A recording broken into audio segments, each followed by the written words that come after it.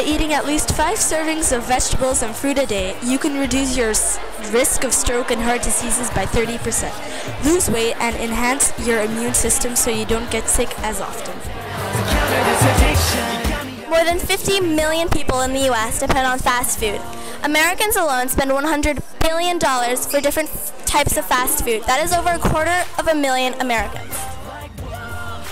Hi, what's your name? I'm Kanticha. So how do you feel after running? I felt tired. I felt sick. I'm out of breath. Um, do you feel happy or depressed? What do you think? Depressed. I need air. Do you ever drink water after you exercise? A form of water. Soda. Okay, thank you.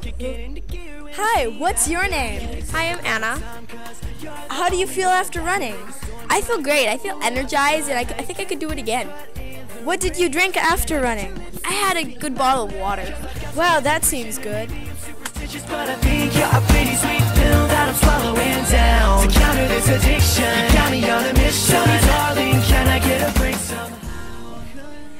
Over the past 30 years, the number of overweight children has doubled, and the amount of overweight teenagers have tripled. Diabetes prevalence increased by 33% in the past 20 years, due primarily to the increased number of overweight individuals. Over 300,000 deaths per year are caused by poor nutrition and lack of physical activity. One out of three children born today will develop diabetes at some point in their lifetime if dietary trends continue as they are today. Anna is very happy and healthy in her future. Studies show that she will probably not have a high cholesterol, heart diseases, diabetes, and will not become obese, unlike Kanticha who is very prone to all these hazards.